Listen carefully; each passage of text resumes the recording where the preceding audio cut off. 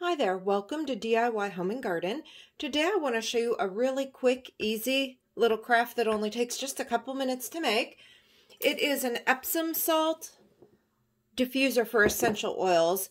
I have made these for little quick gifts for people. I've made them for table centerpieces because they're super inexpensive and fun.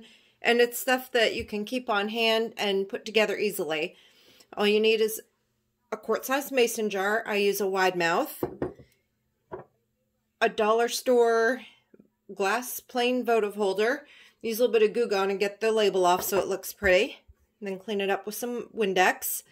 Two cups of Epsom salt. And a tea light candle. And I use Klingenic essential oils that I order from Amazon typically. And this is a peppermint essential oil. And that's good for my sinuses and allergies. So what I'm going to do first is add my drops of essential oil. Doing about 20 drops here. I'm going to stir them up. A little bamboo skewer from my kitchen here to stir with. That smells really, really good. So what happens is the Epsom salt is going to hold the essential oil and then when you light the little tea light, it gives off an amazing aroma. You don't need to purchase an electric diffuser this way. That smells good. You can make it as strong or as not strong as you like. I did about 20 drops. Maybe a little more because that was coming out of there really, really quick. So, all right. So there's my, my jar.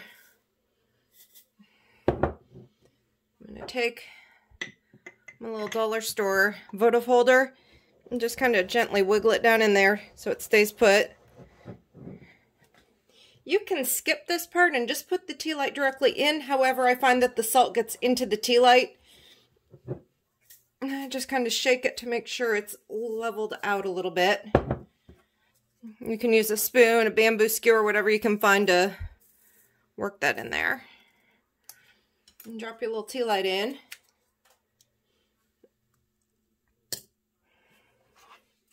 And just like that, you have a diffuser. My allergies are kicking today, so I'm going to go ahead and light that and give myself some relief. And you can also, if you wish to, and I don't care to do this, you can add food coloring and make the Epsom salt a color of your choice, which is great if you're doing table decorations.